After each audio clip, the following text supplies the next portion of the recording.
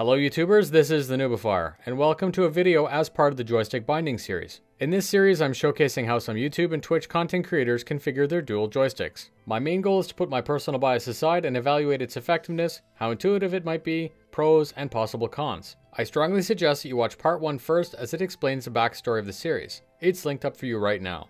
So let's begin. Nimrod77 is a YouTuber who's done some great work on Star Citizen. He has some insightful content on his YouTube and you should totally go check him out. His link is in the description. He was nice enough to send me a detailed breakdown of his configuration. He has a Thrustmaster Warthog on the right and a Thrustmaster T16000M on the left with a set of pedals. His left stick is fully focused on transitional movements but with a twist. His X is left and right, his Y is front and back, but instead of binding straight for both, he's used software to map the positive for throttle and the negative to strafe. He said that that accomplishes a couple things. First of all, he can see the throttle number in the HUD. And second, he still gets engine noises when the ship is flying. Still talking about the left stick, he has the Z or twist action as up and down. His right stick and pedals do all the rotation. X is yaw, Y is pitch, and Z is roll. It's a very nice layout that keeps all the motion types apart. X, Y, Z are on your left hand, and Omega Phi Kappa are on your right hand and pedals. So let's break it down.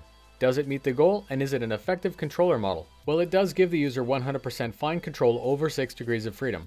It doesn't require the user to move their hands from any control surface to perform any of the operations. The only minor pitfall might be the software to split the controller axis. Like before, this will be dead frustrating to adopt from mouse and keyboard cold turkey. If you're a pilot transitioning from HOTAS with pedals, it could be a very simple adjustment. Either way, I strongly suggest that you manage your own personal expectations and prepare to put some time into training. The cost is above average, pedals are 200, the right stick is 300 and the left stick is 50. Hands on hands off is totally solid. It scores 100% for the number of degrees of freedom, and I would rate the learning curve as average. I hope this quick overview gives you some suggestions on how you might configure your own SimPit. This series is going to be limited to very short 1 or 2 minute videos. A special thanks to Nimrod77 for sending me the information I needed to showcase his bindings. My goal is always to grow my channel and I can't do that without the help of citizens like you. Stay tuned, fly safe, and I'll see you in the verse.